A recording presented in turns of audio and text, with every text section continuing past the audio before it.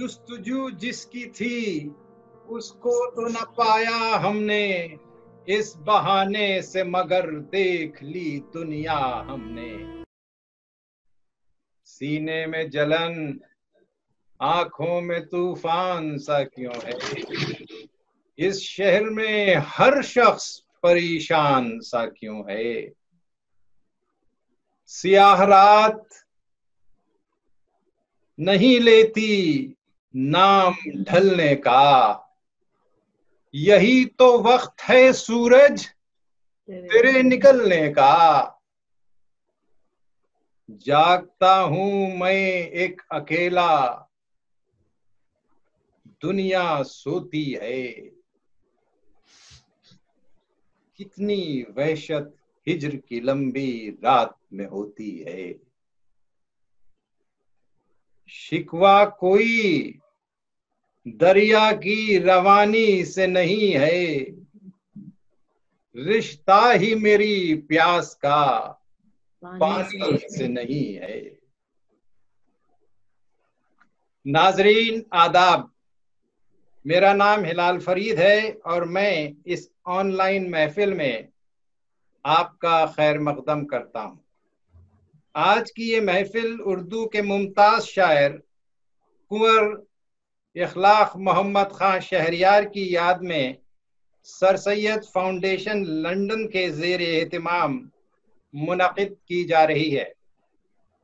महफिल का मकसद नाजरीन की तवज्जे शहरियार के फ़न और उनकी शख्सियत की तरफ़ ले जाना है, ताकि वो इस अनोखे शायर के फ़न को बेहतर समझ सकें और उससे ज़्यादा महजूज हो सकें। आज की इस गुफ्तगु में मेरे साथ दिल्ली से शामिल हैं डॉक्टर रक्षंदा जलील और जद्दे से डॉक्टर मोहम्मद सईद खां साहब। डॉक्टर रक्षंदा जलील एक मारूफ, मुतरजम, नक्काद और अदबी मौरख हैं। न सिर्फ़ उनके मजामी अंग्रेज़ी के मोतबर अखबारों और जरीदों में छपते रहे हैं बल्कि वो 25-30 किताबों की मुसन्फ़ा भी हैं। जिनमें शहरियार पर उनकी किताब Shahryar a life in poetry भी शामिल है। रक्षंदा हिंदुस्तानी आवाज़ के ना, नाम की एक अंजुमन की रूह रवा भी हैं जिसके ज़रिए वो हिंदुस्तानी अदब और सकाफत को फरोग देने के लिए कोशा रहती हैं। हमारे दूसरे मेहमान, डॉक्टर मोहम्मद सईद खां, यूँ तो माहिर माशियात हैं, लेकिन वो उर्दू शेर व अदब के एक संजीदा और बाजौक कारी भी हैं। सईद साहब ने Aligarh, Delhi university, JNU university, Jamia university से तालीम हासिल की फिर एएमयू में मुदर्रिस रहे और अब जद्दा यूनिवर्सिटी में इकोनॉमिक्स के प्रोफेसर हैं और अपनी बेगम गजाला अज़ीज़ साहिबा के साथ मिलकर कई चैरिटेबल वीडियोस भी चलाते हैं और उनको आ, काफ़ी इसमें ताउन लोगों का हासिल है। तो आइए गुफ्तगु का आगाज़ करते हैं और सबसे पहले क्योंकि वो शहरियार पर किताब लिख चुकी हैं हैं, इसलिए मैं रक्षंदा साहब से गुजारिश करता हूँ कि वो अपने तासरात का इजहार फरमाए। एक मिनट डॉक्टर हिलाल फरीद, इससे पहले और माजरत के साथ डॉक्टर रक्षंदा से। डॉक्टर हिलाल फरीद ने मेरा तारुफ खासतौर से खासा जनरसली कराया और डॉक्टर रक्षंदा का कराया, जिसकी वो मुस्तक हैं। लेकिन इनका तारुफ भी किसी को कराना चाहिए, डॉक्टर हिलाल फरीद का। डॉक्टर हिलाल फरीद तो ये ज़िम्मेदारी मैं ले लेता हूँ खुद से। डॉक्टर हिलाल फरीद पेशे से ऑर्थोपेडिक सर्जन है बहुत क्वालिफाइड आदमी है। ये कहा जाता है कि ऑर्थोपेडिक सर्जरी में जितनी डिग्रियाँ हो सकती हैं सब इनके पास में लेकिन उर्दू अदब खुद शायर भी हैं और उर्दू अदब पे और उसकी तारीख पे इनकी बहुत गहरी नज़र है। तो ये मेरी राय इनके बारे में है और शायरी में इनका अपना अलग एक अंदाज है और किसी भी आई मीन ट्रेंड से वो बहुत ज़्यादा मुतासर नहीं होते। ये, ये उनका तारुफ है। अब, तो लोग कहने अब लोग कहने लगेंगे मन तोरा हाजी बगोयम तू मोरा हाजी बगो खैर चलिए तो अब हम चलते हैं रक्षंदा साहबा की तरफ़। रक्षंदा आप बुरा नहीं मानेंगी अगर मैं आपको रक्षंदा कहूँ? बिल्कुल कतई तौर पे नहीं। नाम है। और चले तो रक्षंदा जरा आप बताएँ, आपसे तो बड़ा लंबा एसोसिएशन शहरियार साहब का रहा है और ज़ाहिर है इसीलिए आपने ये किताब भी लिखी। तो आप जरा बताइए कि क्या आपके तासरात हैं उनके बारे में? जी किताब वैसे असल में मैंने इसलिए नहीं लिखी कि मैं उन्हें ज़ाती तौर पे जानती थी। ज़ाती तौर पे जानने से कुछ चीज़ें थी जो मेरे जहन में थी। किताब का असली नाम है लाइफ इन पोइट्री तो जिसको कहते हैं लिटरी बायोग्राफी यानी इसमें कुछ डिटेल्स हैं जो उनकी ज़ाती ज़िंदगी से मुतक हैं। मसलन जैसे कि वो खाना बहुत अच्छा पकाते थे या दोस्तों के दोस्त थे या अच्छे कपड़ों का शौक था। तो इंसिडेंटल डिटेल्स हैं लेकिन मुझे कोई उनकी ज़ाती ज़िंदगी में कोई ख़ास दिलचस्पी नहीं थी इस किताब को लिखते वक्त। हाँ ये ज़रूरी है कुछ चीज़ें जो जो जिन जिनका असर उनकी शायरी पे होता है तवाजुन मसलन। जैसे वो कहते थे कि खाने में बैलेंस खाना पकाने में बैलेंस उतना ही इम्पोर्टेंट है जैसे शायरी में। ये चीज़ें कान में पड़ती थी एक लंबे अरसे से सुनती थी मैं ये बातें कहीं ना कहीं वो एक नैरेटिव की शक्ल लेने लगी जब मैं ये किताब लिखना शुरू की। लेकिन एक बात कहना चाहूँगी कि शहरियार साहब से जिनको मैं असल में शहरियार मामू कहती थी उनसे एक जेनरेशनल इंटर जेनरेशनल दोस्ती थी। यानी वो मेरे नाना के शागिर्द थे। दोनों मामुओं के दोस्त साहब की बात कर रही हैं। जी मैं प्रोफेसर आलिया अहमद सरूर साहब की बात कर रही हूँ जिनके वो जिनके वो स्टूडेंट भी थे और फिर डिपार्टमेंट में भी साथ रहा और बहुत अब्बा के रिटायरमेंट के बहुत लंबे अरसे बाद तक उनसे दोस्ती रही। मेरी नानी को वो अम्मी कहते थे। आ, मेरे दोनों मामू उनके दोस्त थे। आ, मेरी वालदा को अपनी बहन समझते थे। तो उस लिहाज से मैं उनको मामू कहती थी। एक चीज़ और जो उनका ये कहना था मेरी कोई मेमोरी नहीं है ऐसी उनका ये कहना था कि बचपन में जब मैं बहुत छोटी थी तो मुझे एबीसी लिखना उन्होंने सिखाई और उनका ये कहना था मैं कुछ भी कर लू उनके लिए वो काफ़ी इसलिए है क्योंकि ये गुरु दक्षिणा है जो मुझे खर्ज है। तो बहरहाल आप आपने सी सीखी और आप अंग्रेज़ी में लिख रही हैं अगर अलिफ बे पेते तो मुझे शायरी कर रही होती। मुझे उनसे ये रंजिश थी कि उर्दू के उस्ताद होके उस वक्त तक वो एक स्टेब्लिश शायर थे मेरी पैदाइश के वक्त तक। तो तो क्यों नहीं उन्होंने मुझे अलिबे सिखाई? काश मैं आज उर्दू में लिख रही होती। क्या बात है। तो ये जो किताब है इसकी ये शक्ल है शहरियार लाइफ इन पोइट्री कहीं ये वो गुरु दक्षिणा को चुकाने की कोशिश है? कहीं मेरी अपनी दिलचस्पी जो रही है मैंने तरक्की पसंद तहरीक पे बहुत काम किया है और उसके उस उस उस थीसिस को लिखते वक्त भी शहरियार साहब का बहुत बड़ा एक रोल था। बहुत सी ऐसी चीज़ें हैं जो चूँकि मैंने उर्दू अदब को क्लासरूम में तो पढ़ा नहीं है तो बहुत सी ऐसी चीज़ें हैं जो वो एक सरल तरीके से मुझे बता सकते थे। यानी आम गुफ्तगु में या खाने की मेज पे बैठ के चलते फिरते बहुत सी ऐसी चीज़ें हैं स्पेशली जैसे जदीद शायरी में जो ये पूरा एक एक, एक स्कूल ऑफ़ थॉट है कि कम्युनिकेशन जो एक कैजुअलिटी है जी जी। मतलब पूरी किताब है इस पे तो कि जो कम्युनिकेशन एक तरह से कैजुअलिटी हो जाती है जदीद फिक्शन में जदीद शायरी में।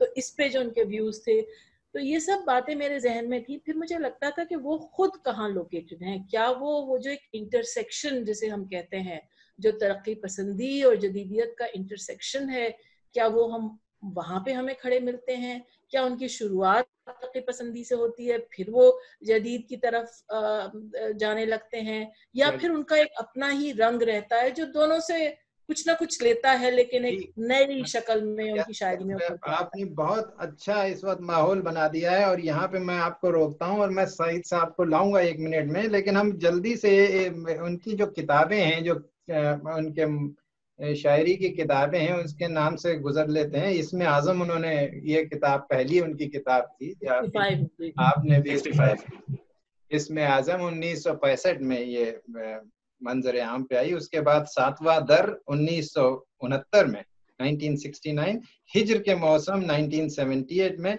और ख्वाब का दर बंद है 1987 में आई, और ये बहुत मकबूल हुई, और इसी पे उन्हें साहित्य अकेडमी अवार्ड मिला। सईद साहब की तरफ़ चलते हैं। सईद, ये बताइए कि आप उस वक्त यूनिवर्सिटी में काफ़ी एक्टिव थे, और आपका अदब से भी बड़ा गहरा इन्वॉल्वमेंट था। और पॉलिटिक्स से भी आप यूनिवर्सिटी में बड़े आशना थे तहरिक थे। और तो वो मैं आपके तासरात जानना चाहता हूँ शहरियार के बारे में। फिर हम वापस आएँगे रक्षंदा साहिबा पे और गुफ्तगु जारी देखिए अलीगढ़ में मैं वैसे तो शोबे उर्दू से वाबस्ता था लेकिन चूँकि अदब से दिलचस्पी होने के नाते उर्दू डिपार्टमेंट में भी और हिंदी डिपार्टमेंट में भी तकरीबन हर एक के साथ उठना बैठना रहा मेरा। और जैसा कि आपने कहा कि पॉलिटिकली एक्टिव भी था मैं जैसे यूनिवर्सिटी के एग्जीक्यूटिव काउंसिल का इलेक्टेड मेंबर रहा या एकेडमिक काउंसिल का इलेक्टेड मेंबर रहा वो सारी एक्टिविटीज़ भी थी। लेकिन दैट अपार्ट शहरियार साहब से मेरा जाती अच्छा खासा मैं ये तो नहीं कहूँगा कि मैं उनके बहुत ही करीबी लोगों में से था लेकिन बहुत अच्छी उनसे जैसे कहते हैं उठक बैठक वो थी उनके साथ। शहरियार साहब भी पॉलिटिकली एक्टिव थे वो भी एमयू की एग्जीक्यूटिव काउंसिल के इलेक्टेड मेंबर भी रहे और भी कोर्ट के भी शायद मेंबर रहे वो। और यूनिवर्सिटी में जो भी इलेक्शन लड़ता है वो खास तौर से और वैसे भी डिपार्टमेंट की अपनी सियासत होती है तो अगर एक शख्स के कुछ दस चाहने वाले हैं तो दस ऐसे भी होते हैं जो उनकी बुराई करते नज़र आएँगे। लेकिन शहरियार साहब के बारे में जो मैंने एक बात महसूस की है एम में, वो ये थी, उनके या तो दोस्त थे या दोस्त नहीं थे। मतलब उनसे कोई ताल्लुक नहीं था, लेकिन शहरियार की बुराई करते हुए कम से कम मुझे कोई नहीं मिला कि शहरियार साहब यूँ और शहरियार साहब यूँ। और शहरियार साहब से गुफ्तगु करने पर बड़े शफीक से नज़र आते थे वो। जैसे मैं तो बहुत जूनियर था उनके मुकाबले में बहुत ही ज़्यादा वाला जूनियर और शहरियार एक स्टैब्लिश न सिर्फ़ उर्दू यूनिवर्सिटी में बल्कि उर्दू अदब में स्टैब्लिश नाम थे। उस वक्त अगर साहित्य अकेडमी का तो इनाम उनको मिल ही चुका था उस वक्त जिस वक्त मैं वहाँ बहसीत लेक्चर मेरा तकर्र हुआ। तो ज़ाहिर बड़ा नाम था शहरियार साहब लेकिन मुझसे भी उसी तरह से शफकत से मिलते थे तो ये नहीं लगता था कि मुझे अपनी कुछ कद के कम होने का एहसास हो जैसे बहुत ही बहुत शफकत के साथ।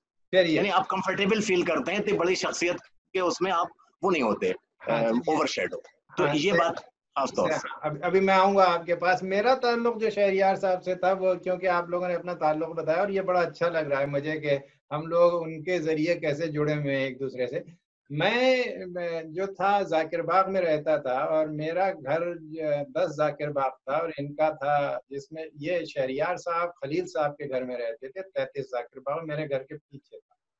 और कम्मू खलील साहब के साहबजादे उनका बेटा मेरा बहुत करीबी दोस्त था हम लोग एक ही क्लास में थे और साथ अच्छा, मेरा मेरा क्लासमेट रहा है कम्मू। जी जी हम लोग साथ रिक्शे पे जाते थे रक्षंदा तो आ, उस दोस्ती की वजह से मेरा आना जाना खलील साहब के यहाँ था और मैं वहाँ पे शहरियार साहब को देखता था जब शहरियार साहब बिल्कुल लड़के थे। और वहाँ पे महफिलें होती थी, उस वक्त हमें कुछ इतनी सुदबुद तो थी नहीं, उन महफिलों की आवाज़ें सुनते थे वाह वाह और ये सब हो रहा होता था उसमें, लेकिन उससे हमें ज़्यादा वो नहीं रहता फिर जब फिर वहाँ से हम चले गए, फिर मैंने जब शायरी शुरू की, फिर शहपर साहब से मेरी मुलाकात हुई और शहपर साहब ने मुझे इंट्रोड्यूस कराया कुछ लोगों से अदबी महफिलों में। फिर शायर शहरियार साहब से को मैंने रीडिस्कवर किया। और जब, उस जमाने में हम लोग जब शेर वेर कहते थे, वो हम लोगों का जमाना तो वो था कि हमारे साथ के लोग रात में फिर फोर्सेस रिक्वेस्ट सुनते थे और सामने सुबह आके भूले भू करते थे।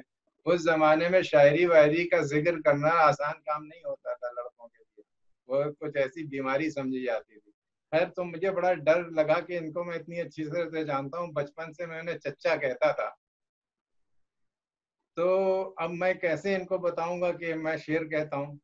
तो बड़ी घबराहट हुई, लेकिन फिर बताया और उन्होंने उसके बाद से मेरी इतनी हौसला अफजाई की है सईद तो जानते हैं, वो हर वक्त मुझे वो करते थे, हर फिर उर्दू के डिपार्टमेंट की महफिलों में हमेशा उनका वो रहा और बहुत मोहब्बत के साथ हर जगह। और आखिर में तो उनसे ऐसी वो हो गई थी कि वो मुझे फ़ोन करते थे तकरीबन हर हफ़्ता जब मैं यहाँ आ गया था। और लंबी लंबी गुफ्तु बहुत रात में होती थी और सब चीज़ें बताते थे, अपने ताज़ा गजलें सुनाते थे वगैरह। तो ये हम लोगों का ताल्लुक है उनसे तो ये भी नाजरीन जान जाए कि किस तरीके से हम शहरियार से जुड़े हुए हैं। अच्छा अब मेरे ख्याल में हम आते हैं उनकी शायरी की तरफ़ थोड़ा सा। तो रक्षंदा कह रही थी उस वक्त जदीद और तरक्की पसंद में ये किस तरीके से वो दोनों कुछ लोग ये कहते हैं कि वो दोनों कश्तियों में थे या नहीं थे। रक्षंदा से ही मैं पूछूँगा कि वो क्या कहना चाहती हैं इस सिलसिले में। जी मैं असल में ये बता रही थी कि इस किताब को लिखने की वजह क्या थी? तो मुझे लगता है कि मेरी जो दिलचस्पी तरक्की पसंद तहरीक में थी आ, मैं देखना चाहती थी कि जो उसका उरूज था जो उसका हाई नून था जब वो पीरियड खत्म होता है ये तो नहीं कि वो खला में चली गई उसके बाद और कुछ ऐसी कोई उसका कोई असर नहीं रहा या उसमें से कुछ और चीज़ें कोई नई शाखें नहीं फूटी ऐसा भी नहीं था। तो मैं समझने की कोशिश में थी कि खलील साहब खुद मसलन खलील रहमान आजमी साहब खुद शुरू में हम कह सकते हैं कि वो क्लियरली तरक्की पसंद तहरीक के साथ थे लेकिन उसके बाद इतनी कह रहे कि वो उससे हट के अलग हो गए लेकिन हाँ उन्होंने उसको ऑब्जेक्टिवली देखना भी शुरू किया। उनकी शायरी में हमें वो असरात नज़र आते हैं जो आज हम ब्रॉडली स्पीकिंग कह सकते हैं मॉडर्निज्म का हिस्सा है। तो मुझे दिलचस्पी थी इस बात को देखने में कि जो लोग एक जगह से सफ़र शुरू करते हैं ज़रूरी नहीं कि वो उसी रस्ते पे चलते चले जाएँ। कुछ लोग यकीनन ऐसे हैं लेकिन कुछ लोगों का रास्ता और रस्तों से जाके मिलता है। ऐसा मुझे मेरा अंदाज़ा था। तो, जी जी? जी आप आ, मैं यहाँ पे सईद साहब को भी लाना चाह रहा था। सईद साहब आप क्या समझते हैं वो कि कहाँ कहाँ वो फिट होंगे शहरियार साहब? ये जो डिवीज़न होता है क्लासिकल और तरक्की पसंद और मॉडर्न और पोस्ट मॉडर्न वगैरह। मेरा ख्याल यह है कि जो भी मेरी महदूद नॉलेज है मेरा महदूद मुताला है अदब का और ख़ासतौर पर शहर साहब की शायरी का। मुझे ऐसा लगता है कि उनके यहाँ शेड्स तो हैं तरक्की पसंदी के भी शेड्स मिल जाएँगे कहीं कहीं और क्लासिकियत के कम है। मुझे यह हो सकता है लोग इतफाक ना करें इस बात से। इसलिए कि उनकी लफ्जियात तो बिल्कुल ही अलग है उनके अपने इश्तारे हम्म। हैं और कुछ खास इश्तारे ऐसे हैं जो शेर पढ़ते ही अंदाज़ा होता है कि शहरियार का शेर है। लेकिन जो मौजू है तरक्की पसंद शायरी का।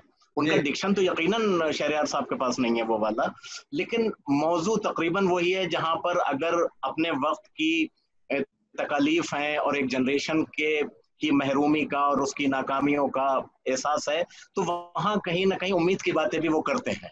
जो तरक्की पसंदी जो तरक्की पसंदों का था। अब, अब ये शेर जो मैंने पढ़ा था जो जो शुरू के इंट्रोडक्शन में कि सिया रात नहीं लेती एग्जैक्टली exactly, वही शेर तो। वक्त है सूरज तेरे निकलने का ये तो लगता है तरक्की पसंद शेर बिल्कुल। Exactly. तो, माफ़ कीजिएगा एक इंटरव्यू में मैंने तवील इंटरव्यू किया था हिंदू के लिए तो ये शेर जो अभी हिलाल साहब आपने पढ़ा इसी का हवाला देते हुए शहरार साहब ने अपनी बात कहने की कोशिश की थी और ये वो वक्त था जो जब गुजरात राइट्स हुए थे ये 2002 के आसपास की बात है जब मेरी उनसे बातचीत हो रही थी तो अच्छा। उनका इशारा पॉलिटिकल फोर्सेस की तरफ़ से था हाँ, तरफ़ था और एक बहुत मुख्तसर सी नज्म मुमकिन है आप में से आपको शायद याद हो वो कुछ इस तरह से है वो जो आसमां पे सितारा है उसे अपनी आँखों से देख लो क्या उसे क्या? अपने हाथों से तोड़ लो उसे अपने होठों से चूम लो कि उसी पे हमला है रात का। क्या तो बात। अब ये तो नज़र है। जी जी। कोई कैटेगरी देना चाहें कि आप इसे प्रोग्रेसिव कहें या कुछ कहें लेकिन है तो ये पॉलिटिकल नज्म क्या अच्छी बात है क्या अच्छी क्या अच्छी नज्म आपने क्या अच्छी नज्म और बहुत मौके से आपने पढ़ी है। और ये मैं आगे एक चीज़ में मुझे एक ये जब इसकी तलाश कर रहा था तो एक ये मजमून मिल गया वारिस किरमानी साहब का। हम्म। और उन्होंने ये बड़ी दिलचस्प बात मतलब हर आदमी का अपना वो होता है नज़रिया। उन्होंने एक आध चीज़ें बड़ी दिलचस्प इसमें लिखी हैं। मैं वो अगर आपकी इजाज़त हो तो पढ़ दू। तो वो ये है कि शहरियार की शायरी पर तनकीदी मजामी पढ़ता हूँ या खुद लिखने का इरादा करता हूँ तो कुर्बत और दोस्ती के बावजूद वो वो रूपोश हो जाते हैं और गिरफ्त में आने से गुरीज करते हैं। वो माजी से इतना कटे हुए हैं कि उनकी शायरी को लावलत कहा जा सकता है।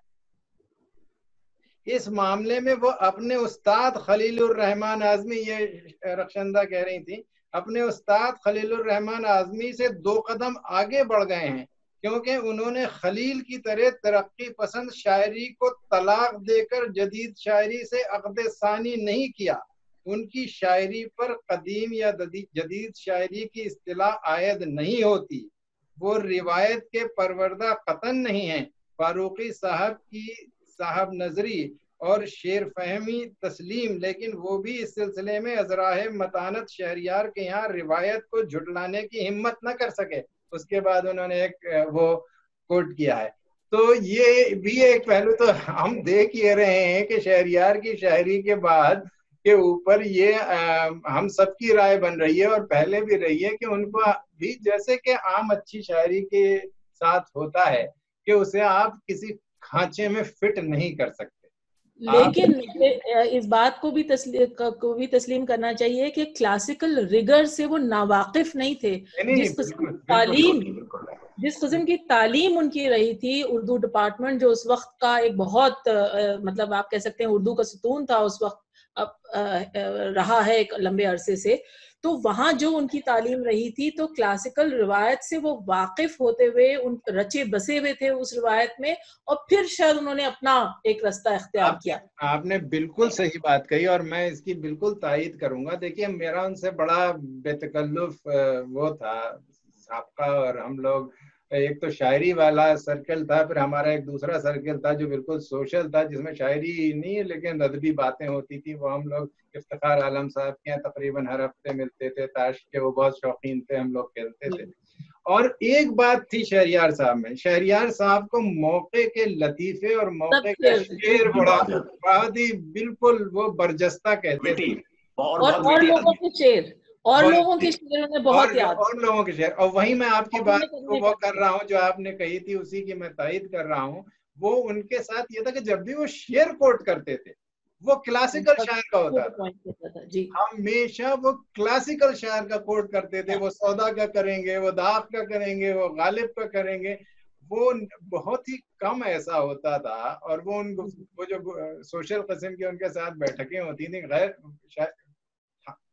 ठोस शायरी वाली नहीं हम्म। शेरी नशिस्तें उसमें वो बेपना लतीफे और वो कोट किया करते थे और बहुत ही रेयरली वो खलील साहब से वो बेनतहा मुतासर थे और उनका वो बहुत अदब करते थे उनके कर देते थे कभी का लेकिन ज़्यादातर उनके जो कोटेज कोट किए हुए शेर होते थे वो क्लासिकल शोरा के होते थे। तो ये बिल्कुल सही कह रही है। यहाँ एक बात मैं अर्ज़ कर दूँ हिलाल साहब कि मेरा अपना जाती तौर पे ये मानना है हालाँकि मैंने नकाद हूँ न शायर हूँ कि कोई भी शायर शायद उतना बड़ा शायर ना बन पाए जितने शहरियार थे अगर उसने क्लासिकी शायरी ढंग से पढ़ी नहीं है। तो उनका ये कोई ताजुब की बात नहीं है कि उनको क्लासिकी शेर क्लासिकल पोइट्री के शेर बहुत ज़्यादा थे। जी। और इसमें दो राय नहीं है कि उनको शेर बहुत ज़्यादा थे मौके से उनको सुनाते थे विटी बहुत थे बहुत और बहरल बागो बहार शख्सियत जिसको कहा जाता है वो थे। जी और ये और, बात और एक चीज़ और जो जैसे तरक्की पसंद शायरी का जो एक खास वो है कि जहाँ वो जो एक्सप्लॉयटेड सेक्शन है उसकी तर्जुमानी करते हैं उसके दुखों की वहीं कहीं ना कहीं हौसले की भी बात होती है। तो शहरियार के यहाँ भी बावजूद उसके के सारे जो एक असरी एक वो है हिजान है और इंसान बड़ा एलियनेटेड फील कर रहा है बड़ा डिप्राइव महसूस कर रहा है तो वहाँ हौसले की बात भी पूरी करते हैं ताकि उन्हीं मुश्किलों में अपना रास्ता निकालना है उन्हें। फॉर एग्ज़ाम्पल मैं उनका एक शेर पढ़ रहा हूँ। उम्र का बाकी सफ़र करना है इस शर्त के साथ धूप देखें तो उससे साय से ताबीर करें। क्या तो बात। उनकी धूप मुश्किल नहीं है यानी और एक बात और खासतौर से वो इसी जगह मुनासिब रहेगी कि शहरियार जब भी इसका ज़िक्र कर रहे हैं तो वो ऐसी जगहों पे वर्ड हम यूज़ करते हैं। यानी वो अपनी जात की बात नहीं कर रहे हैं बल्कि पूरी जनरेशन की या पूरी वो जो इस जैसे फॉर एग्ज़ाम्पल मैं उनका एक शेर कोट करूँ। आप ये सही ये शेयर कोट किए उसके बाद हमें रोकना पड़ेगा। हमारे तीस मिनट हो रहे हैं। मैं सारे अपने उनसे करता हूँ रिक्वेस्ट करता हूँ जितने लोग इसमें शामिल हैं कि वो दूसरी मीटिंग दस मिनट में शुरू होने वाली है उनका इनविटेशन जा चुका है उसमें दोबारा शामिल हो जाएँ और हम वहाँ से उसको फिर टेकअप करेंगे। शेर पढ़े सही था जी। शेरियार का जैसे एक शेर है कि आँखों को सबकी नींद भी दी ख्वाब भी दिए हमको शुमार करती रही दुश्मनों में रात। क्या तो हम की जगह वो मुझ भी यूज़ कर सकते थे मुझको शुमार करते हैं लेकिन वो हम यूज़ कर रहे हैं यहाँ पर। क्या वो अपनी जाती खाली बात नहीं कर रहे हैं बल्कि एक जनरेशन की बात कर रहे हैं अपने क्या अच्छी बात है वाह जनरेशन में मेरे ख्याल से बहुत सी चीज़ें ये उनकी शहरी शायरी है। वो एक शहरी सेंसिबिलिटी का ज़िक्र कर रहे हैं जो अपने गाँव देहात कस्बों से कट ऑफ़ हैं। तो जो अर्बन एलियनेशन है जो हमने कम से कम दो डेकेड्स पहले अंग्रेज़ी में देखा है दो या तीन डेकेड्स पहले टी एस एलियट में देखा या वो एंग्री यंग मैन का जो तस्वुर था उसमें देखा। वो हमें शहरियार की शायरी में सेवेंटीज एटीज तक नज़र आ रहा है। एक ऐसा शख्स जो बिल्कुल एक शहरी क्रीचर है और कहीं उसमें एक एंगस्ट है एक एलियनेशन की फीलिंग है और कहीं शायद ये वजह भी है कि जहाँ से वो उठ के आया था वहाँ से अब उसका ताल्लुक कट गया है और अब वो एक शहर में रह रहा है। हाँ। तो जो शहरी ज़िंदगी के जो मसले हैं मेरे ख्याल से उससे भी जाके ये बात जो हम कर रहे हैं ये कहीं मिलती है। बेशक मिलती है और इसमें इसका अब जब हम आएँगे तो जरा उनके इश्तिहारों की भी बात करेंगे क्योंकि उनके इश्तिहारे जैसे सईद साहब ने कहा और आपने भी कहा रक्षंदा कि उनके अपने इश्तिहारे थे कुछ तो उसका हम उसके ऊपर डिस्कस करेंगे।